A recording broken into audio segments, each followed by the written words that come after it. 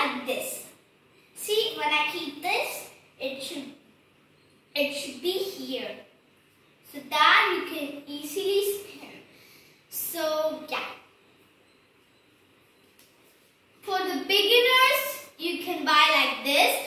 But if you're expert in it, you can buy smaller or bigger, whatever size you want. But the smaller size you buy, it's harder. So yeah.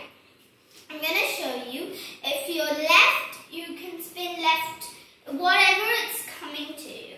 So my my comfortability is right, but if your comfort comfort comfort, if it's left, you can do it. So yeah, I'm just gonna do. I'm gonna. I'm just gonna do a sample for you.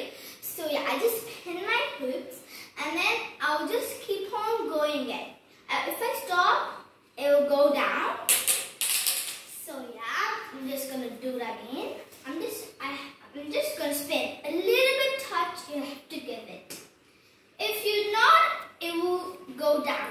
And then one more thing, you should not do like this and then it will fall down. See.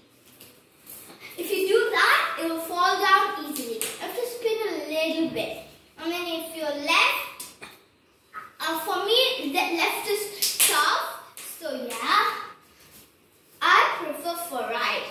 For me, left is tough, as you can see. So um, I'm just gonna show you a thing. You can also just spin it, spin it like this, and then you can just go here to your neck,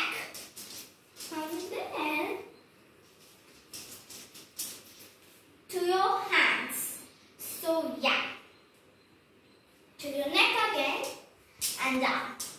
So first, if you're a beginner, you have to know this. That's it. See? A little bit. Dip. And then keep on going. If it's if it's going down, you have to speed it up and get it get the hula hoop into your into your chest or